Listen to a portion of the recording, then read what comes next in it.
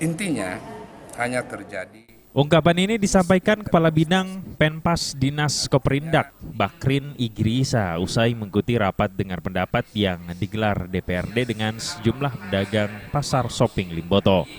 Bakrin mengaku kejadian ini terjadi akibat kesalahpahaman para pedagang dalam mengartikan tugas Dinas Koperindak melalui penataan pasar dan shopping Santar Limboto yang merupakan ikon Kabupaten Gorontalo. Artinya ada kesalahpahaman di dalam mengartikan apa sebenarnya yang sementara kita lakukan terutama dalam penataan dan pengaturan serta penertiban pasar harian Limboto, pasar kayu bulan, lingkungan dan pasar shopping serta kuliner yang ada di Limboto.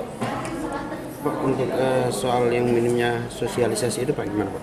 Uh, ini namun begitu Bakrin menambahkan, dalam waktu dekat ini pihaknya akan melakukan sosialisasi kepada seluruh pedagang yang menempati pasar shopping Limboto.